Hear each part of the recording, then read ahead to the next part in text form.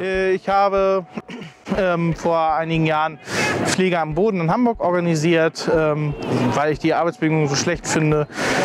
Das heißt, Pflege am Boden hieß damals, dass wir uns auf den Boden gelegt haben mit Transparenten und gezeigt haben, dass die Pflege am Boden liegt, wortwörtlich. Durch Pflege nach Corona erwarte ich, dass wir von der Politik ernst genommen werden, dass auch mal anstatt nur Versprechungen zu machen, auch Taten folgen. Wir hören seit Jahren nur Versprechungen von der Politik, nichts ändert sich. Ich bin Daniel Frank, äh, bin 32 Jahre alt und äh, arbeite momentan im Krankenhaus auf einer Station für Diagnostik bei Epilepsie-Patienten. Jetzt muss mal nachfragen, was ist mal in der Pflege wert? Wir, wir arbeiten täglich mit Corona-Patienten viele noch ähm, und haben noch nicht mal einen einzigen Abstrich selber gekriegt.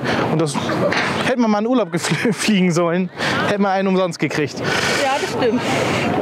Also ich fände es gut, wenn meine Kollegen mit auf die Straße kommen, mit Solidarität zeigen für ihren Beruf und äh, Initiative zeigen. Sie lieben alle ihren Beruf, sie machen ihn alle nicht umsonst und ihnen fehlt oft die Kraft, noch nach der Arbeit noch auf die Straße zu gehen. Aber nur so können wir was verändern, nur so können wir Veränderungen bewegen. Und ja, das wünsche ich mir von den Kollegen.